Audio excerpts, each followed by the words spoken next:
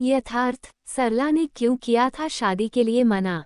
सरला aunty के सहयोग से ही उसे एक फ्लैट में, बतौर पेइंग गेस्ट स्थान मिला था।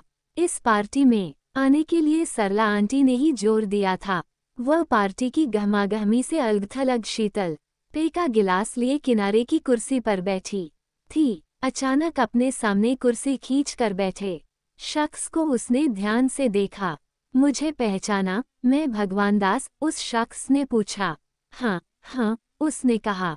उस शख्स को तो वह भूल ही नहीं सकती थी। दस वर्ष पूर्व वह उसे देखने आया था और इस प्रकार संकोच में बैठा था, मानो कोई दुल्हन हो। इलाहाबाद विश्वविद्यालय की तेजतरार मोहना के सामने उसके बोलने की क्षमता जैसे समाप्त हो गई थी।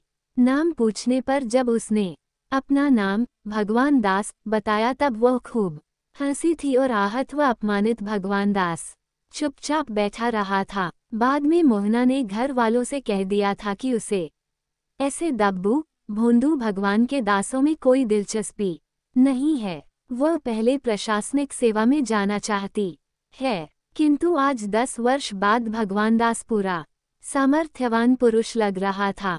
उसकी भेदती दृष्टि का वह सामना नहीं कर पा रही थी। बातचीत से पता चला कि वह बैंक मैनेजर हो गया था। उस के द्वारा बताने पर कि वह सिंचाई विभाग में बतौर स्टेनो काम कर रही है, वह व्यंग्य से मुस्कराया।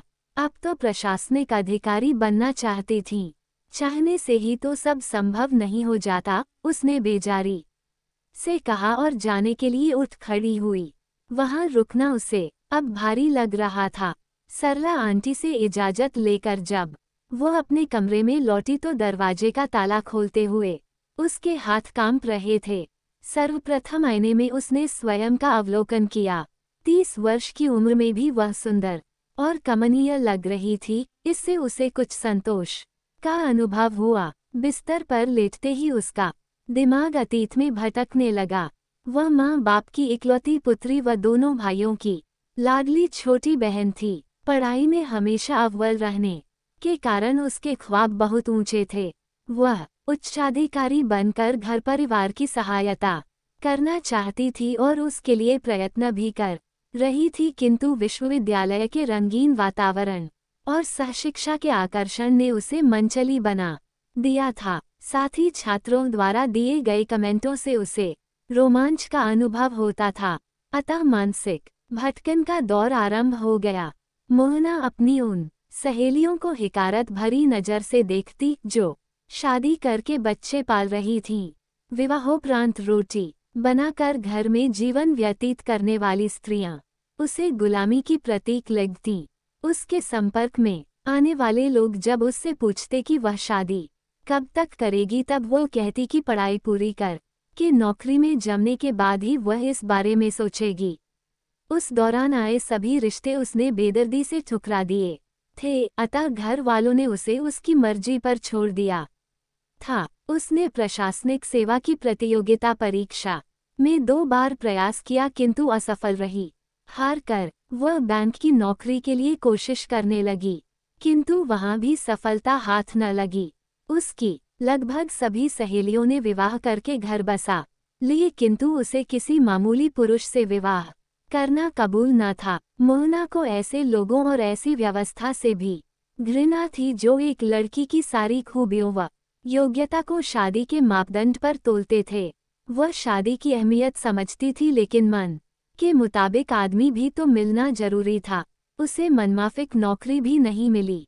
नौकरी के नाम पर बस स्टेनो का जाब मिला। उसने शुरू में सोचा कि अच्छी नौकरी मिलने पर इसे छोड़ देगी किंतु बाद में यही नौकरी उसकी नियति बन गई। कई वर्ष बाद इस शहर में स्थानांतरण होने तक, सब कुछ शांत व घटना विहीन चल रहा था, किंतु, भगवान दास से हुई भेंट ने मानो शांत जल में कंकड़ फेंक दिया था। उसे याद आया कि उसने क्या, कुछ सोचा था किंतु उसे क्या मिला। शायद ये, था सपने और यथार्थ में अंतर। इत्तेफाकन इस बीच, मोहना की भगवान दास से कई बार भेंट हुई, उसने उसे स्कटर पर लिफ्ट भी दी साथ साथ।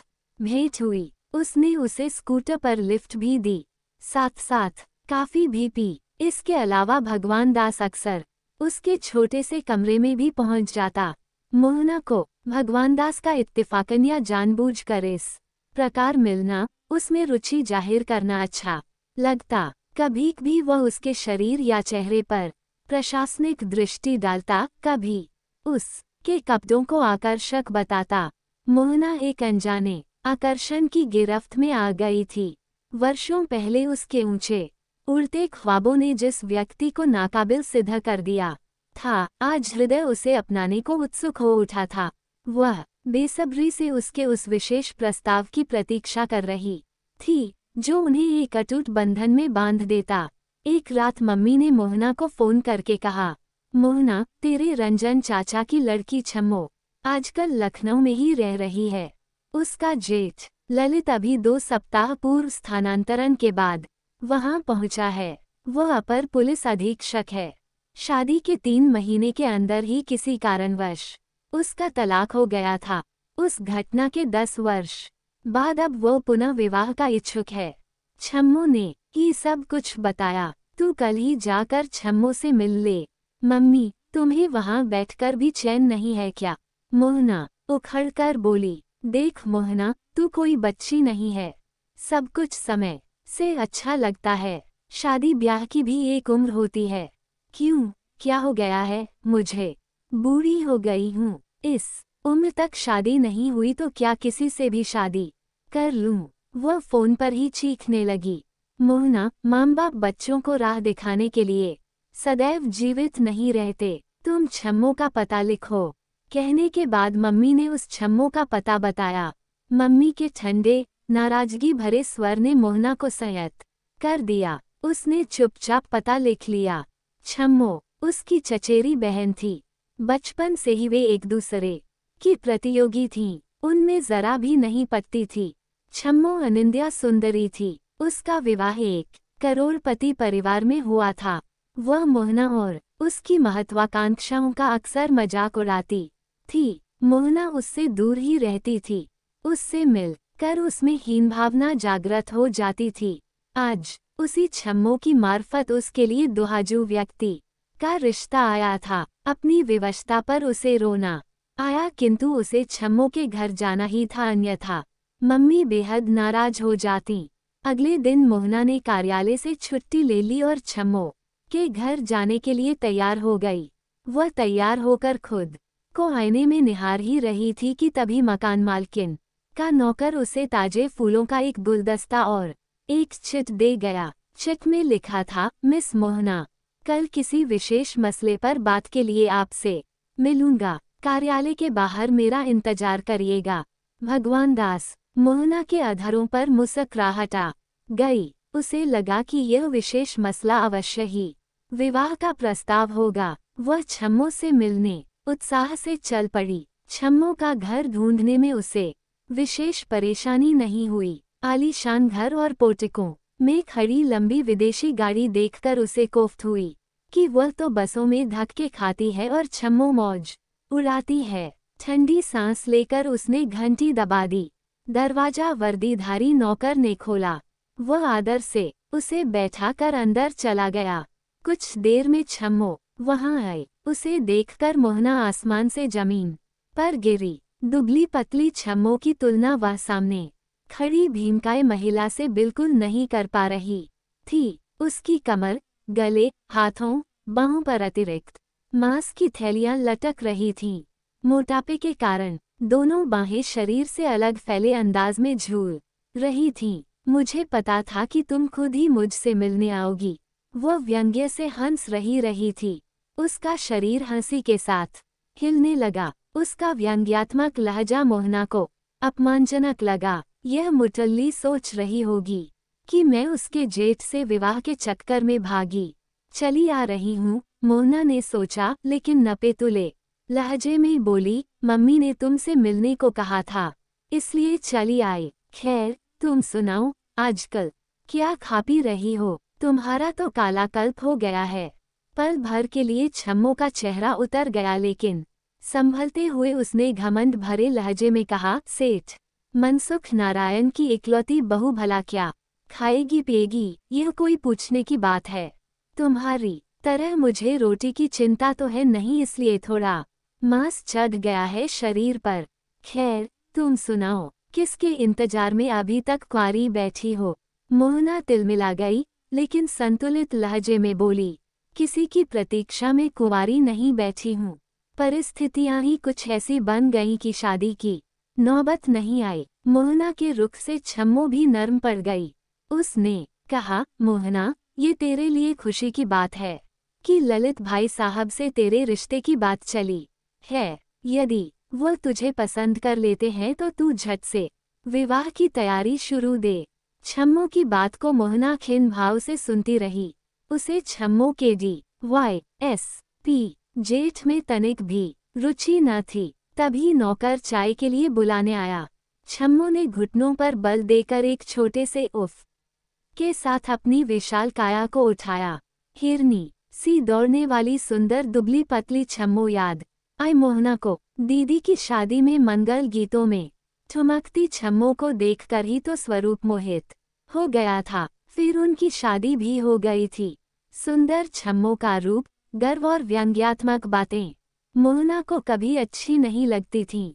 छम्मो की खूबसूरती का वर्तमान हाल विश्वास के काबिल न था। इस वक्त छम्मो मोहना की सुगठित देहयष्टि व आत्मविश्वास से भरी मुखाकृति को दबी छिपी दृष्टि से देख रही थी।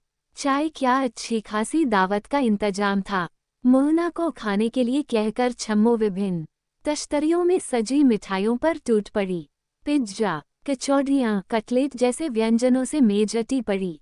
थी, छम्मो की खुराक ने उसकी वर्तमान सेहत का राज खोल दिया। तभी भारी बूटों की आवाज़ से घर गूंज उठा। मोहना चौंक कर बूटों की आवाज़ की दिशा में देखने लगी। एक छह फुट ऊँचा व्यक्ति बेझिझक अंदर आ गया, छम्मो, अकेले अकेले चाय पी। जा रही है। आई आई, मोहना आई है। इसके बारे में मैं, ने आपसे बताया था न, छम्मो ने खड़ी होकर आंचल सिर पर डालने का उपक्रम किया।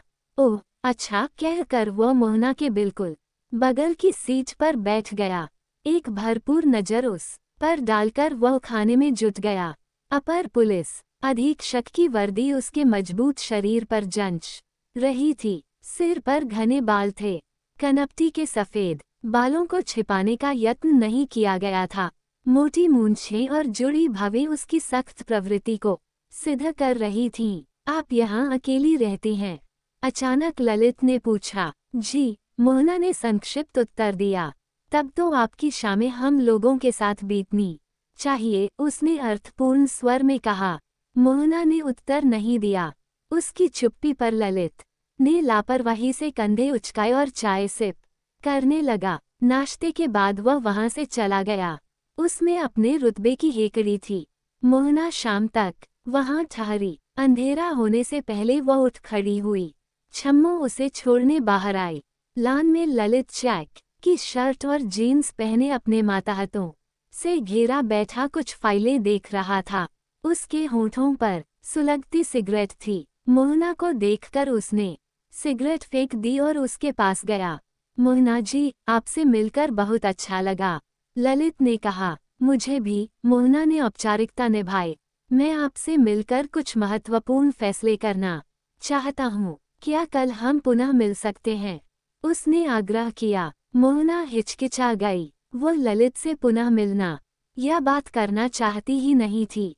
उसे भगवान दास से मिलकर कोई महत्वपूर्ण निर्णय करना था, मगर इस तरह किसी के अनुरोध को नकारना असभ्यता होती इसलिए भरसक नम्र होकर उसने कहा, कल शाम को यदि मौका मिला तो मैं फ़ोन कर दूँगी। ओ, के? ललित ने कहा, उसका चेहरा उतर गया। वो उल्टे पैर अपने सहयोगियों के पास लौट गया। हाथ आए अच्छे अवसर को गंवाना सरासर। मूर्खता है मोहना भाई साहब ने तो तुझे पसंद भी कर लिया था छम्मो ने उद्विग्न स्वर में कहा। महत्वपूर्ण फैसले सोच समझ कर लिए जाते हैं, मोहना, ने मुस्करा कर कहा। तुझे क्या लगता है कि अब भी सोचने समझने का वक्त बाकी है? मुझे तो लगता है कि तेरे भाग्य में अविवाहित रहना ही लिखा है, ताईजी के कहने। पर मैं बेमतलब में इस झमेले में फंसी छम्मो ने नाराज़ स्वर में कहा। तुम्हारी शुभेच्छा के लिए धन्यवाद। मैं फ़ोन करूँगी। कभी मेरे कमरे में भी आना, मोहना ने कहा, पर छम्मो चुप रही। मोहना तेज़ी से बाहर निकल गई। घर पहुँचने पर उसे बाहर ही मकान मालकिन मिल गई। आज तो बहुत अच्छी लग रही हो। ऑफ़िस नहीं, गई थी क्या? कहाँ से आ रही हो? कजिन से मिलकर आ रही हूँ। मोहना उनके प्रश्नों की बौछार से घबरा गई। ये बताए, कोई मुझसे मिलने आया था क्या? हाँ भगवान दास आया था। अच्छा अच्छा वह तो कल मिलने आने वाला था। आज ही चला आया। मोहना, भगवान दास को तुम कैसे जानती हो? कई वर्ष पहले उससे मिली थी। अब यही भेंट हुई है। इन वर्षों में तुम लोग एक दूसरे से नहीं मिले। नहीं, लगभग दस वर्ष बाद हम मिल रहे। हैं, मोहना, भगवान दास अक्सर तुमसे मिलता है। मुझे लगता है तुम दोनों एक दूसरे को पसंद करते हो। आप ठीक समझ रही हैं, आंटी। इसलिए कोई निर्णय लेने के लिए वह आने वाला है। क्या ये तुम अच्छा कर रही हो? मेरा मतलब भगवान दास के बीवी बच्चों से है। क्या उनके साथ अन्याय नहीं हो रहा है? क्या वह विवाहित है? मकान मालकिन की बात सुनकर मोहना को जोरदार झटका लगा। मुझे आश्चर्य है, तुम इतनी महत्वपूर्ण जानकारी के बिना उससे मिलती रही हो। मकान मालकिन के स्वर में कड़कड़ाहट थी।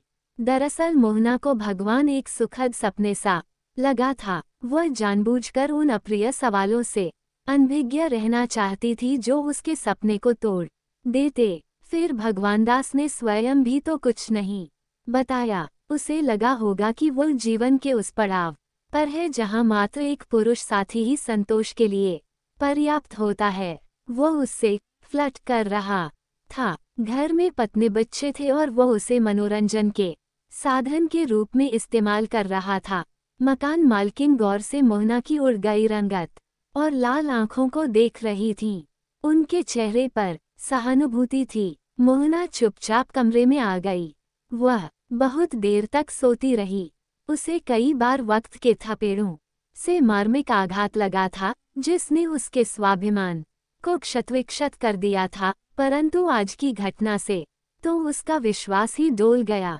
उसका विवेक चेतना शून्य हो गया था। वह धोखेबाज महत्वपूर्ण निर्णय के लिए आएगा। शायद बिना शादी किए साथ रहने के लिए कहे, क्या वह बर्दाश्त कर पाएगी? अचानक कुछ सोचकर मोहना झटके से उठी। उस ने आँसू भरे चेहरे को इस तरह पहुँचा जैसे जीवन से अवसाद को पहुँच रही हो। कमरे से निकल कर वह मकान मालकिन की बैठक में पहुँची। वहाँ कोई नहीं था। उसने फ़ोन पर नंबर घुमाया। उधर से जिस भारी भरकम स्वर ने, हेलो, कहा, वह उसी की अपेक्षा कर रही थी कि वही रिसीवा उठाए। वह ललित ही था। मोहना ने कहा, ललित साहब, आप महत्वपूर्ण फैसले के लिए मुझसे मिलना चाह रहे थे। मैं कल शाम आपकी प्रतीक्षा करूँगी। तो मुहतरमा को मौका मिल गया। बंदा कल हाजिर हो तो मुहतरमा को मौका मिल गया। बंदा कल हाजिर हो जाएगा, ललित की जीवन से भरपूर आवाज़। ने मोहना के कानों में नवजीवन की घंटियाँ बजा दी। एक रिश्ता ऐसा भी क्या हुआ था मिस मृणालिनी ठाकुर के साथ? यूँ ये था तो शहर का एक बॉयज़ कॉलेज अर्थात लड़कों का कॉलेज लेकिन पढ़ाने वाले, शिक्षकों में आधे से अधिक संख्या महिलाओं की थी। लेडीज़ क्या थी? रंग बिरंगी, एक से बढ़। कर एक नहले पे दहला वाला मामला था। इन रंगों में मिस मृणालिनी ठाकुर का रंग बड़ा चोखा था। लंबे कद, छरहरे बदन और पारसी स्टाइल में। रंग बिरंगी साड़ियाँ पहनने वाली मिस मृणालिनी। ठाकुर सबसे योग्य टीचरों में गिनी जाती थीं। अपने विषय पर उन्हें महारत हासिल था। फिर रुआबैसा की लड़के पुरुष टीचर्स का पीरियड। बंद कर सकते थे, मगर मिस मृणालिनी ठाकुर के पीरियड में उपस्थिति अनिवार्य थी। लड़का मिस मृणालिनी का शागिर्द हो और कॉलेज में होते हुए उनका पीरियड मिस करे, ऐसा बहुत कम ही होता था, इस लिहाज से मिस मृणालिनी ठाकुर भाग्यशाली कही जा सकती थी कि लड़के उनसे डरते ही नहीं थे, बल्कि उनका सम्मान भी करते थे। इस तरह के भाग्यशाली होने में कुछ अपने विषय पर महारत हासिल होने का हाथ था तो कुछ मिस। मृणालिनी ठाकुर की मनुष्य के मनोविज्ञान की समझ भी थी। वो अपने स्टूडेंट्स को केवल पढ़ा, देना और कोर्स पूरा कराने को ही अपनी ड्यूटी नहीं समझती थी, बल्कि वह उनके बहुत नज़दीक रहने को भी अपनी ड्यूटी का एक महत्वपूर्ण अंग समझती थी। हालाँकि उनके साथियों को उनका ये व्यवहार काफ़ी हद तक मजाकिया लगता था। मिसेज, अरुण तो हंसा करती थी, उनका कहना था, मिस मृणालिनी ठाकुर, लेक्चरर के बजाय प्राइमरी स्कूल की टीचर लगती हैं, मगर मिस मृणालिनी ठाकुर को इसकी बिल्कुल भी फ़िक्र नहीं थी कि उनके व्यवहार के बारे में लोगों की क्या राय है, उनका कहना था कि जो बच्चे हमसे शिक्षा लेने आते हैं, हम उनके लिए पूरी तरह उत्तरदायी हैं, इसलिए हमें अपना कर्तव्य नेकनीयति और ईमानदारी से पूरा करना चाहिए। मिस मृणालिनी ठाकुर के साथियों की सोचों से अलग स्टूडेंट्स की अधिकतर संख्या उनके जैसी थी। उन्हें सच में किसी प्राइमरी स्कूल के टीचर की तरह मालूम होता था कि लड़के का पिता क्या करता है, कौन फ़ीस माफ़ी का अधिकारी है, कौन पढ़ाई के साथ पार्ट टाइम जॉब करता है आदि आदि पता नहीं ये स्टूडेंट से नजदीकी का परिणाम था या किसी अपराध की सजा की एक सुबह। काले जाने वालों ने लोहे के मुख्य दरवाजे के एक बोर्ड पर चाक से बड़े अक्षरों में लिखा, देखा I love miss Mrinalini Thakur. इस एक वाक्य को तीन बार कॉपी करने के बाद लिखने वाले ने अपना व क्लास का नाम बड़ी ढिठाई से लिखा था, शशि कुमार सिंह, प्रथम वर्ष, विज्ञान सेक्शन बी। किसी नारे की सूरत में लिखा ये वाक्य औरों की तरह मिस मृणालिनी ठाकुर को अपनी ओर आकर्षित किए। बिना न रह सका, क्षण भर को तो वह सन रह गईं। उन्होंने चोर निगाहों से इधर उधर देखा। शायद कोई न होता तो वह अपनी सिल्क की साड़ी के पल्लू से वाक्य को मिटा देती। मगर स्टूडेंट ग्रुप पर ग्रुप की शक्ल में आ रहे थे बेतहाशा। धड़कते दिल को संभालती miss Mrinalini. Thakur staff room तक पहुँची और अंदर दाखिल। होने के बाद अपना सिर थामती हुई कुर्सी पर गिर गई। यकीनन आप देखती हुई आई हैं, मिसेज। जयराज की आवाज़ मिस मृणालिनी ठाकुर को कहीं दूर से आती मालूम हुई। उन्होंने सिर उठाकर मिसेज जयराज की ओर देखा और कपकपाती आवाज़ में बोली, आपने भी देखा। भाई, हमने क्या बहुतों ने देखा और देखते आ रहे हैं। दरअसल लिखने वाले ने लिखा ही इसलिए है कि लोग देखें। मिसेज जयराज, प्लीज़ इसे किसी तरह।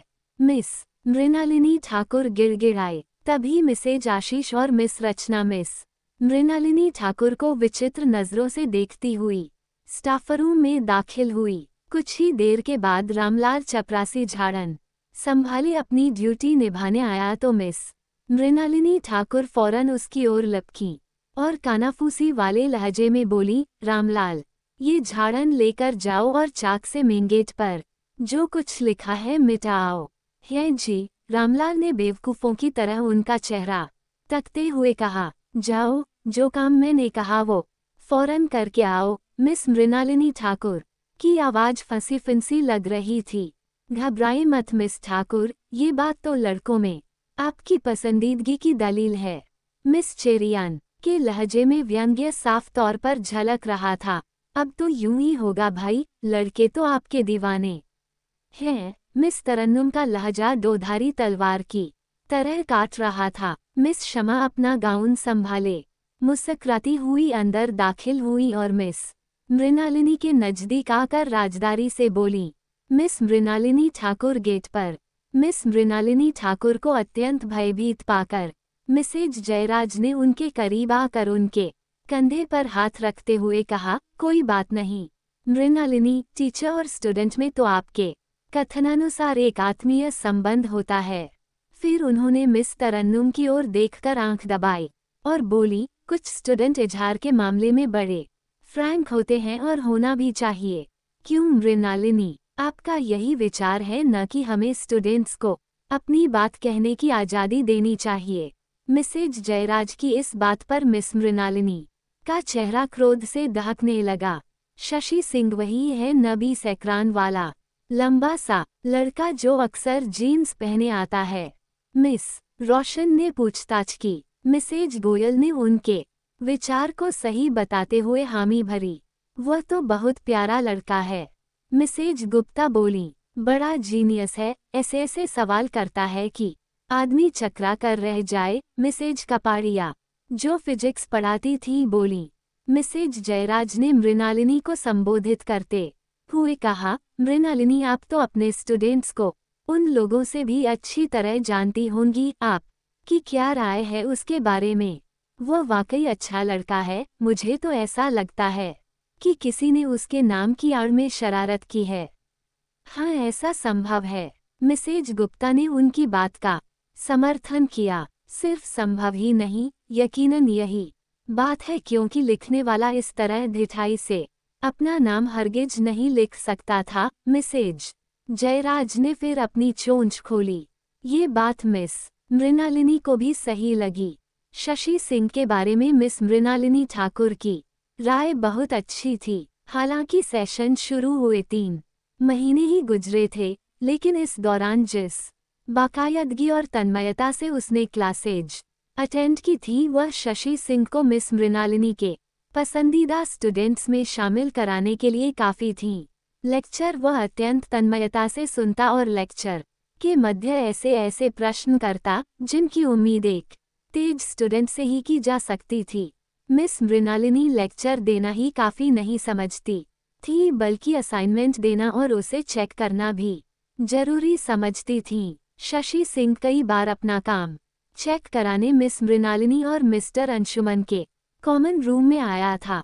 वह जब भी आता, बड़े, सलीके और सभ्यता के साथ, इस आने जाने के बीच मिस मृणालिनी ने उसके बारे में यह मालूमात हासिल की थी कि उसके माता पिता दक्षिण अफ्रीका में थे। वह यहाँ अपनी नानी के पास रहा। दक्षिण अफ्रीका में थे। वह यहाँ अपनी नानी के पास रहा करता था। शशि जैसे सभ्य स्टूडेंट से मिस मृणालिनी को इस किस्म की छिछोरी हरकत की उम्मीद भी नहीं थी।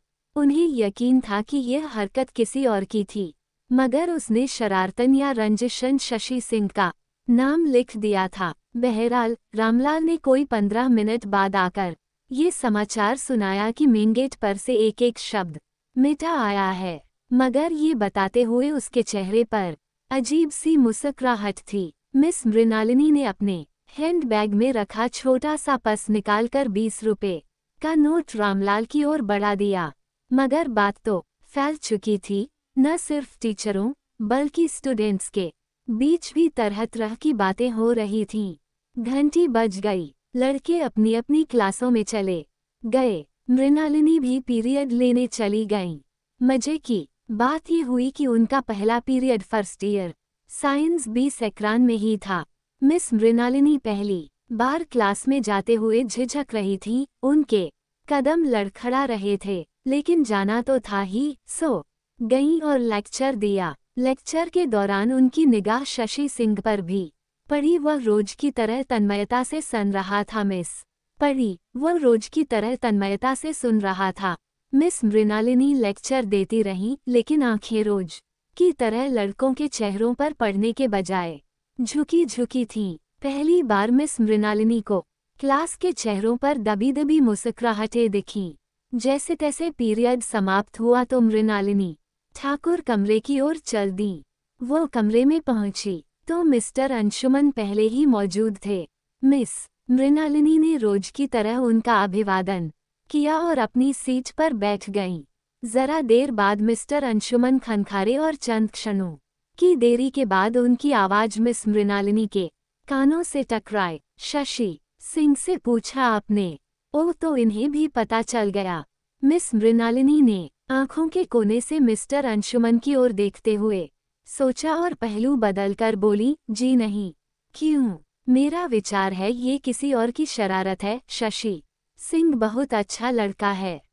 आपने पूछा तो होता आपके विचार के अनुसार। अगर उसने नहीं लिखा तो संभव है उससे कोई सुराग। मिल सके। मिस्टर अंशुमन ने घंटी बजाकर चपरासी को बुलाया। कुछ देर बाद शशि सिंह नीची निगाही किए फ़ाइल हाथ में लिए अंदर दाखिल हुआ। मिस्टर अंशुमन कड़क कर बोले, क्या तुम बता सकते हो गेट पर किसने लिखा था? Yes sir. बिना देरी किए जवाब आया। मृणालिनी ठाकुर ने घबराकर और चौंक कर शशि की ओर देखा। किसने लिखा था? अंशुमन सर की रौबदार आवाज़। गूंजी, मैंने, शशि ने कहा। मिस मृणालिनी चौंकी। उन्होंने देखा शशि अपराध, की स्वीकारोक्ति के बाद बड़े इत्मीनान से खड़ा था। अंशुमन सर ने मृणालिनी की ओर देखा। मानो उन, की आँखें कह रही थीं, मिस मृणालिनी आपका। तो विचार था। मृणालिनी ने नज़रें झुका ली।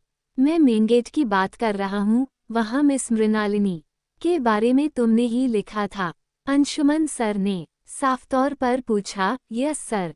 बड़ी इत्मीनान से जवाब दिया गया, यू इडियट, तुम्हारी इतनी हिम्मत कैसे हुई? अंशुमन दहाड़े, वो कुर्सी से उठे और शशि के गोरे गोरे गाल ताबड़तोड़ चांटों से सुर्ख कर दिए। शशि सिर झुकाए किसी प्राइमरी कक्षा के बच्चे की तरह खड़ा पिटता रहा।